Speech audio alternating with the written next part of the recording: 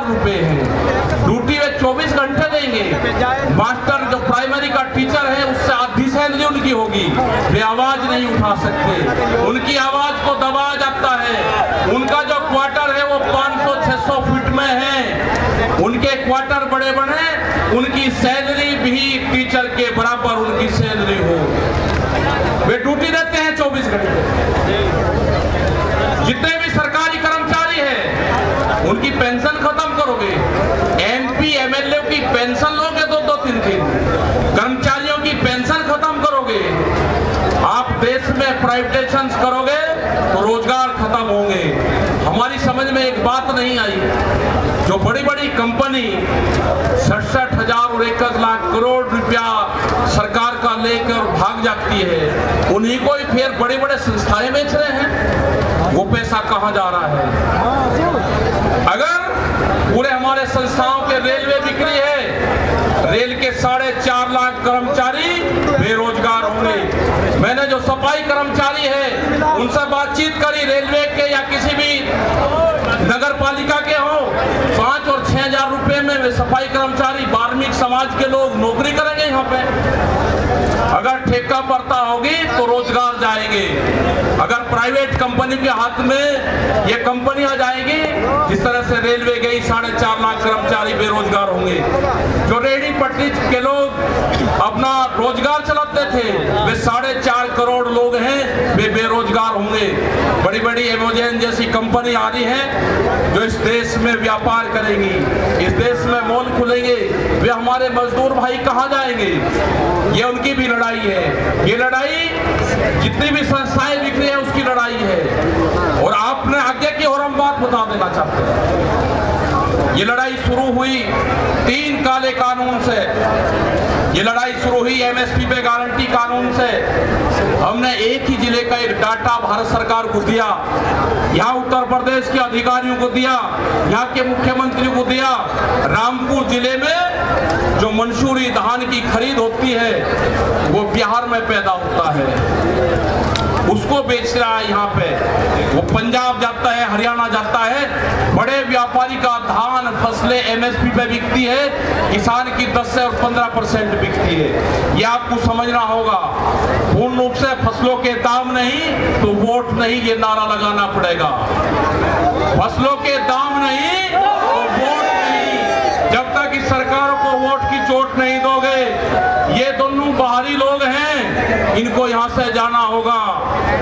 अमित शाह, मोदी और योगी, ये चुनाव जीत का है ये उत्तराखंड से चुनाव जीत के प्रधानमंत्री बने, कोई ऐतराज नहीं। उत्तर प्रदेश की ज़मीन से जीत के गुजरात में गुंडागर्दी के दम पे आना हो, वहाँ पे पुलिस स्टेट है, वहाँ पे जीत के देश का प्रधानमंत्री बने कोई ऐतराज नहीं है। लेकिन उत्तर प्रदेश की ज़मीन पे ये दंगा करवाने वाले लोग हैं। इनको यहाँ पे बर्दाश्त यहाँ की जनता नहीं करेगी।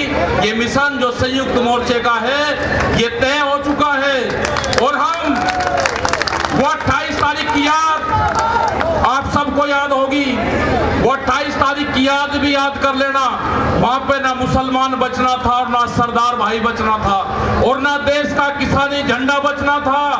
उस रात को देश में आंदोलन का कत्लेआम होता। उसके बाद में देश में कोई आंदोलन नहीं हो सकता था। वे एक सौ अड़तालीस लोग वहाँ पे थे और आठ हज़ार की पुलिस और गुंडे के तत्व पे वहाँ पे कब्जा करने की नीयत थी। लेकिन वे बहादुर लोग वहाँ पे थे, जो 20 मिनट के बाद ही जो वहाँ से घोषणा हुई। वे 20 मिनट बहुत महत्वपूर्ण थे। जब देश की जनता साथ में खड़े हुई, जब हमने जल मांगा तो कंडेला खाप हरियाणा, पूरा हरियाणा खाप सड़कों के ऊपर था, पूरा उत्तर प्रदेश सड़कों के ऊपर था। इस तरह का तोड़ने का काम करेंगे, हम जोड़ने का काम करेंगे ये सरकारें आपसे फिर वादा लेकर जाते हैं कि वहाँ पे अगर हमारी कब्रगाह वहाँ पे बढ़ेगी हम मोर्चा नहीं छोड़ेंगे। अगर हमारे को शहीद होना पड़ेगा तो हम मोर्चे पर होएँगे या तो जीत का आएँगे बगैर जीतते नहीं आएँगे वापसी ये ये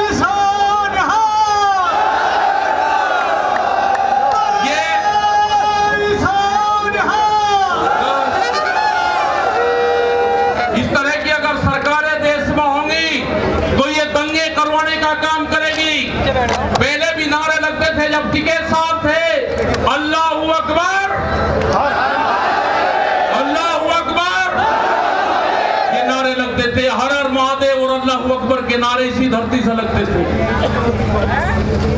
ये नारे हमेशा लगते रहेंगे। ये नारे हमेशा लगते रहेंगे, दंगा यहाँ पे नहीं होगा। ये तोड़ने का काम करेंगे, हम जोड़ने का काम करेंगे। किसी गलत फहमी में मत रहना। ये देश हमारा है, ये प्रदेश हमारा है, ये ज़िले हमारे हैं आप तैयार रहना ये कहते हैं कि लाल किले पे किसान गया अगर लाल किले पे नहीं किसान तो घर जाता तो पार्लियामेंट पे जाता जहाँ पे कानून बने हैं लाल किले पे लेके गए हैं आप हमको। हमारे लोग नहीं गए। धोखे से लेकर आप लोग गए हैं। क्या कोई देश की एजेंसी है कि जो उसको जाँच करते हैं? क्योंकि कोई एजेंसी बोलने को तैयार नहीं है। पूरे देश पे इनका कब्जा हो चुका है पूरी एजेंसियों पे। देश में कैमरा और कलम पे बंदूक का पहरा है।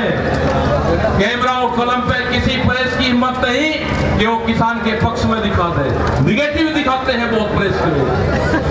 तो इन सब लोगों का आपको ध्यान रखना है। ये आंदोलन जारी रहेगा। वो 28 तारीख की जो काली रात है, उसको आप याद करते रहना। हम वहाँ से हटेंगे नहीं। किसी भी कीमत पर वहाँ से जाएँगे नहीं। देश के नौजवानों का रोज़गार का सवाल है। साढ़े चार सौ रुपया क्विंटल गन्ने का भाव की बात करी थी, वो चाहिए हमको। हमको फ़सलों पे एमएसपी की गारंटी चाहिए। प्रधानमंत्री ने कहा कि 2022 में फ़सलों के रेट दुगने होंगे, आमदनी दुगनी होगी। तीन महीने की बात रहेगी है। पहली जनवरी से बिकने वाली फ़सलें दुगने रेट में बेचेंगे, ये प्रचार हम करेंगे। हम जाएँगे देश की जनता के बीच में पूरे देश में संयुक्त मोर्चा आंदोलन करेगा और हमने बार बार कहा कि हमारे पंच भी यही है, हमारा मंच भी वही है। आपने बात सुनी, ये 20 लाख से ज़्यादा लोग मुजफ्फरनगर की ज़मीन पाए। इन सब का बहुत बहुत धन्यवाद, सभी वॉलंटियरों का धन्यवाद। अभी हमारे कुछ लीडर रह रहे हैं, आप उनकी बात सुनोगे। धन्यवाद, जय हिंद, जय भारत। जी